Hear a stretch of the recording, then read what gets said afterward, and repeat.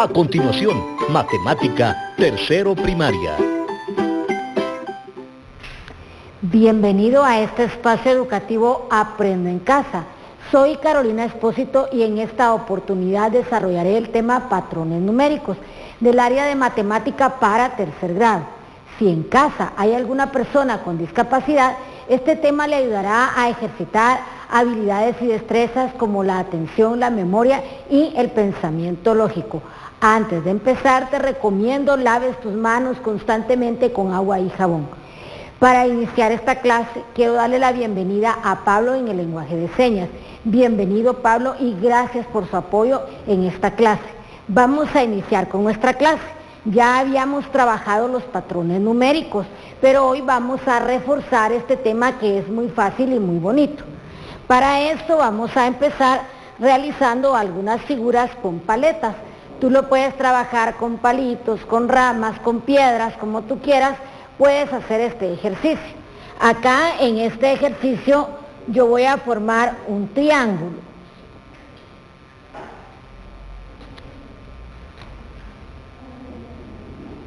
Muy bien, aquí ya tengo la primera figura. Ahora voy a tratar de imitar de nuevo esta figura porque los patrones es la repetición de una figura, de un número o de un sonido. Vamos a ver, vamos a hacer otro triángulo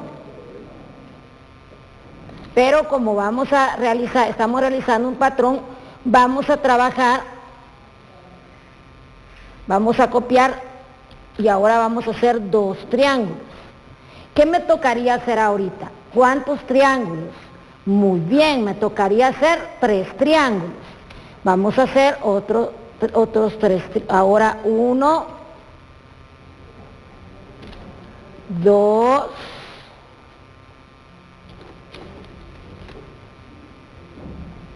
y 3. Vamos a hacer acá el otro triángulo. ¿Qué fue lo que yo acabo de hacer? Repetir esta figura. Primero hicimos un triángulo, luego hicimos dos triángulos similares a la primera, luego trabajamos tres triángulos y si yo quisiera hacer otros triángulos, ahora ¿cuántos triángulos me tocaría hacer? Muy bien, cuatro triángulos. Aquí hemos hecho un patrón de triángulos. Ahora vamos a hacer otro ejercicio. Por ejemplo, si yo tengo, acá tengo estos números, no son exactamente el reloj, solo son números, pero se parecen a la numeración del reloj. Ahora, voy a encontrar un número que se repite en la resta de estos números. Veamos cómo se podría trabajar. Voy a decir, por ejemplo, 7 menos 1. Muy bien, ¿cuánto sería? Excelente, es 6. Vamos ahora a decir, por ejemplo, 8 menos 2. ¿Cuánto sería 8 menos 2? Muy bien, es 6. Vamos ahora a, otro, a otra resta. Yo podría decir, por ejemplo, 9 menos 3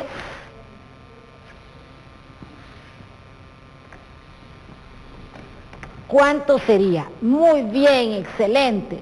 6. Ahora podemos decir 10 menos 4 ¿Cuánto sería? Muy bien, es 6. Podemos decir también 11 menos 5. Muy bien, ¿cuánto sería 11 menos 5? Serían 6. Y si yo digo 12 menos 6, 6. ¿Qué sucedió en todas las restas que yo acabo de hacer? hubo un número que se repitió, ese puede ser un patrón, porque el patrón es aquello que se repite. Recordemos la clase anterior. En la clase anterior vimos la definición de que era un patrón. Es un conjunto de números y figuras que guardan una relación entre sí. Veamos el ejemplo que está aquí abajo. círculo, triángulo, cuadrado, círculo, triángulo, cuadrado, círculo, triángulo, cuadrado. Otro elemento importante, yo traté de hacer una separación entre cada uno de los grupos de figuras. También hay un patrón al separar. Hay un patrón en colores, todos los círculos son rosados, todos los círculos son lila o morado y todos los círculos son verdes. Acá tenemos una secuencia. Esta secuencia es un patrón. Cuando nosotros elaboramos, por ejemplo, collares o pulseras, tratamos de hacer cuencas de colores. Por ejemplo, podemos tener una azul, una roja, una azul, una roja. Ahí tenemos un patrón de color. Acá, por ejemplo, en el vestido o en el traje típico que está acá, nosotros podemos ver en lo que es el huipil, aquí hay un patrón, flor, flor, flor, flor, y hay una, un color, hay una separación, aquí hay un patrón, también hay un patrón en el diseño del cuello, en el diseño de las mangas, en el diseño de los colores hay un patrón de color. ¿Cómo nosotros podemos entender esto de los patrones? Aquellos niños que tejen o bordan en nuestras comunidades los trajes típicos o los trajes regionales, ellos pueden entender muy bien acerca de estos patrones. Los patrones es una repetición para cada una de las cosas que estamos trabajando. Ahora vamos a ver acá. Hay diferentes tipos de patrones. Este es, empezamos con el tema de hoy. Por ejemplo, nosotros tenemos, acá hay un patrón de sucesión ascendente. Ascendente quiere decir que voy a subir. Dice, cada término es mayor que el anterior. Por ejemplo, acá está esta niña y aquí están las gradas. Ella piensa subir, está ascendiendo. Ahora, podríamos decir, si fuera con números 5, 10, 15, 20, hay una sucesión hacia arriba, del menor al mayor.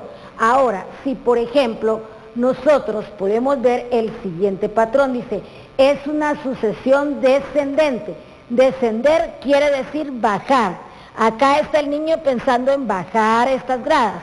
Entonces, si es un patrón, dice, cada término es menor al anterior. 20, 15, 10, 5. Estamos de mayor a menor y aquí de menor a mayor. Esto también guarda relación con los patrones. ¿Por qué?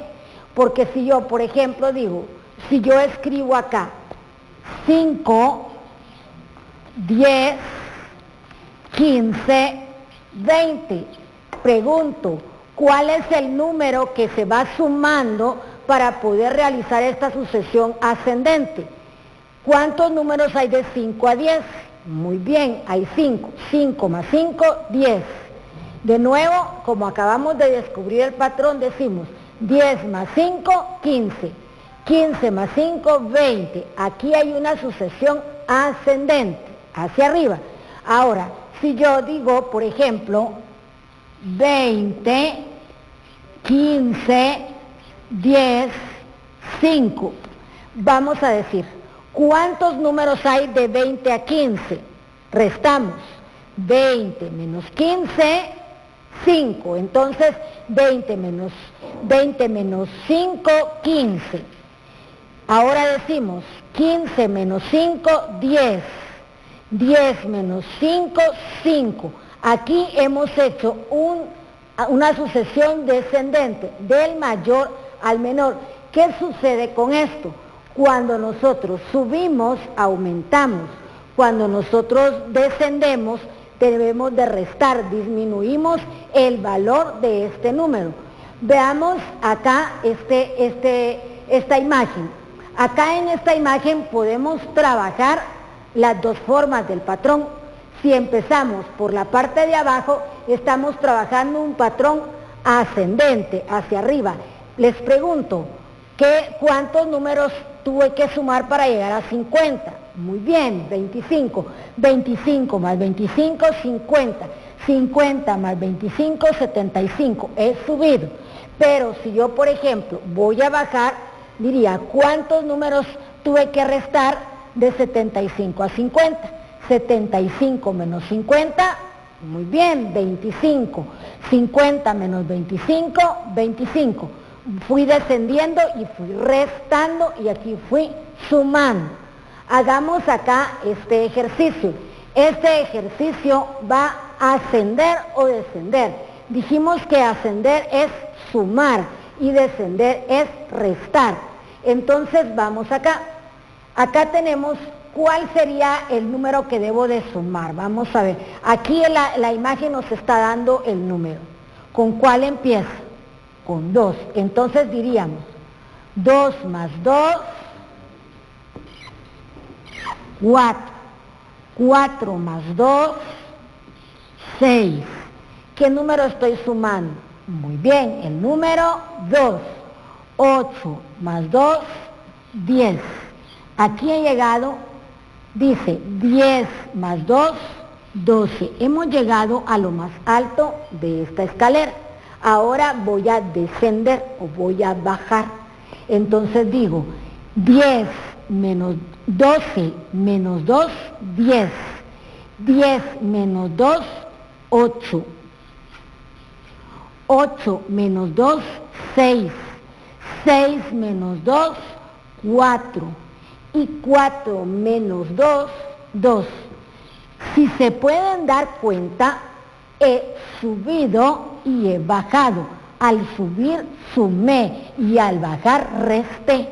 Esa es la importancia de este patrón, ascender o descender. Esto es muy importante porque hoy estamos trabajando los patrones numéricos de suma y resta. Por eso estamos hablando de ascender y descender. Vamos acá. Dice el siguiente ejercicio. ¿Me acompañas a trabajarlo? Gracias, excelente. Vamos a aprender mucho con este ejercicio. Vamos a ver. Dice la pregunta, ¿qué número sigue? Vamos a ver, me ayudas a ir investigando el número que sigue. Aquí ya nos dieron la clave. Acuérdate que si en el primer número está, en el, primer espacio hay un número, ese es el patrón.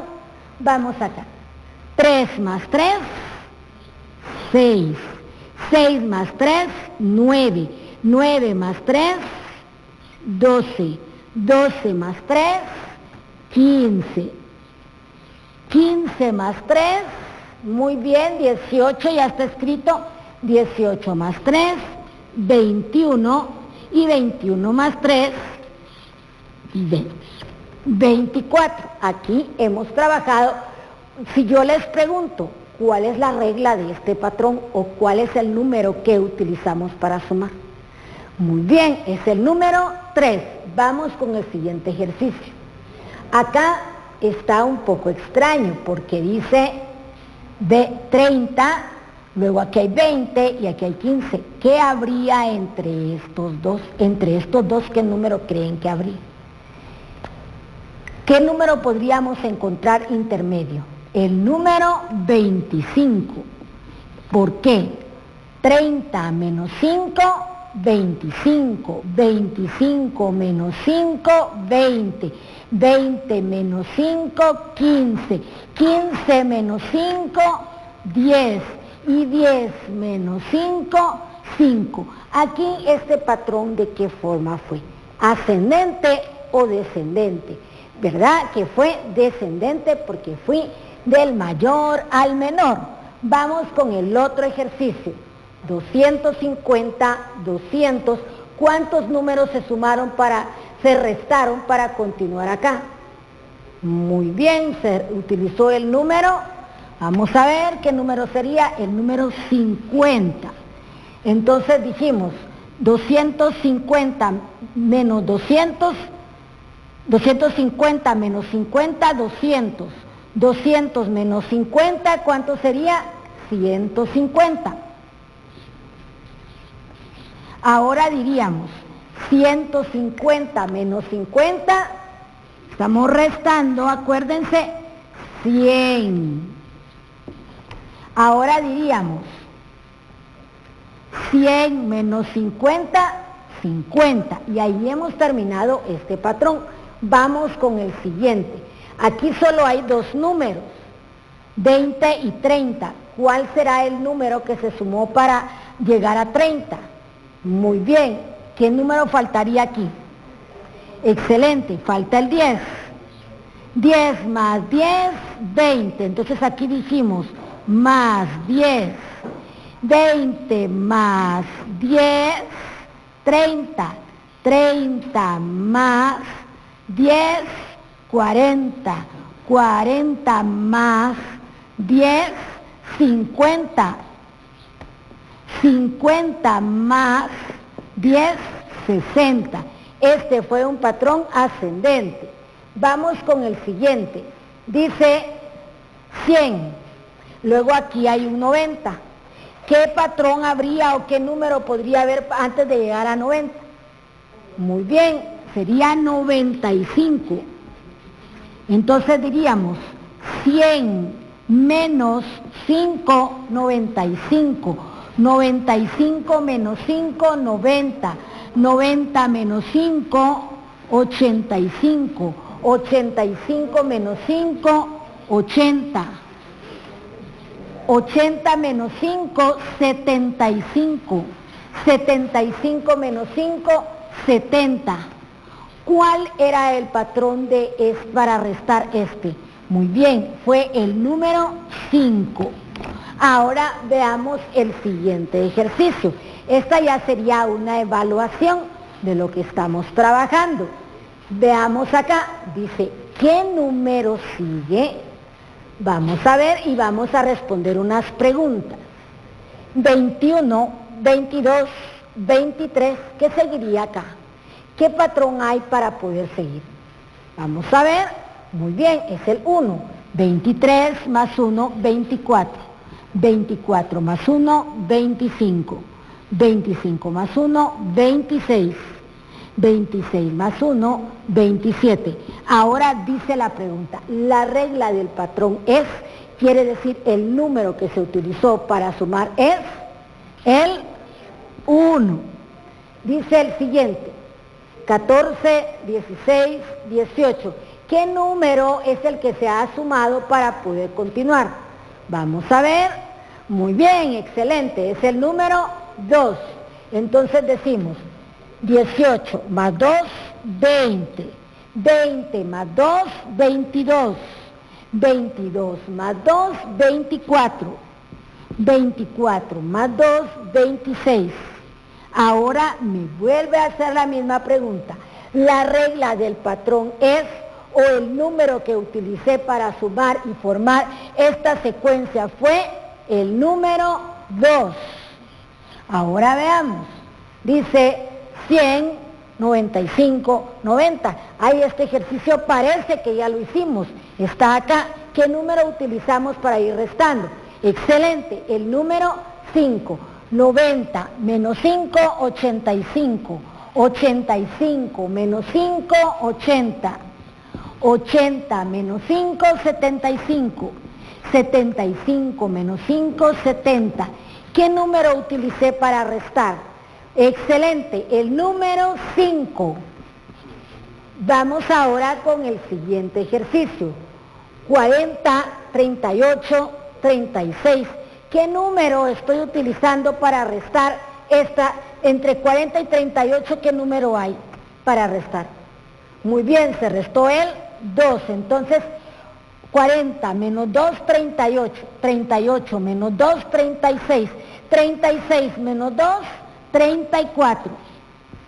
34 menos 2, 32. 32 menos 2, 30. 30 menos 2, 28. ¿Qué número utilicé para restar? O la regla del patrón fue o es el número 2. Y por último vamos con la siguiente secuencia. Aquí vamos a un patrón ascendente. Dice 65, 75. ¿Qué número se usó para sumar? ¿De ¿Cuánto hay de 65 a 75? Vamos a ver. El número 10. Entonces, 75 más 10, 85. 85 más 10, 95. 95 más 10, 105. Y 105 más 10, 115. Muy bien. ¿Ves qué fácil todo lo que hemos aprendido? Tenemos, aquí podemos practicar la suma y la resta. Te invito a que hagas un ejercicio. Yo acá hice una rueda que tiene una secuencia. Aquí adentro de esta rueda están los números, hay unos números, mira, 4, 8, 12, 16, 20. Y así hice una secuencia. Entonces digo, el, mi patrón es 4, 4 más 4, 8, 8 más 4, 12, 12 más 4, 16. 16 más 4, 20. Pero podríamos trabajar en forma descendente e ir restando. 20 y aquí dice 16. ¿Cuánto tuve que restar para llegar a 16? Muy bien, 4. Entonces ahora diríamos, ya sabemos el patrón que es 4. 16 menos 4, 12. 12 menos 4, 8. 8 menos 4, 4. Entonces este, este ejercicio te va a ayudar a sumar o a restar. Y también te puede ayudar para otras operaciones fundamentales en las que puedes trabajar. Y es muy fácil de hacer, solo son dos ruedas del tamaño que tengas, las puedes hacer en papel, en cartón, en material reciclable, reciclable y puedes usar ya sea un atache o puedes usar un alfiler o puedes colocar una lana y poder hacer que esto gire y así puedes hacer tu trabajo. Así es de que Matemática es muy bonito, puedes practicar de diferentes formas. Yo te invito a que practiques, que no te quedes solo con copiar lo que has aprendido. Ten presente guardar tus trabajos y ejercicios en tu portafolio Aprendo en casa. ¿Qué aprendiste hoy? Aprendiste acerca de los patrones. Patrones de suma y resta. Ascendente, descendente, ascendente, subir, descendente, restar. Ascendente, sumar, descendente, restar.